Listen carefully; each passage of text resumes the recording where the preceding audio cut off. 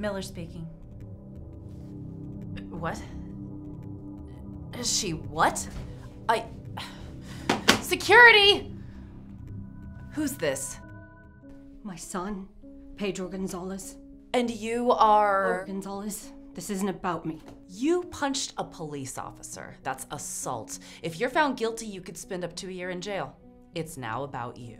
My son was shot and killed while legally crossing the border, and you people did nothing. I suggest you calm down.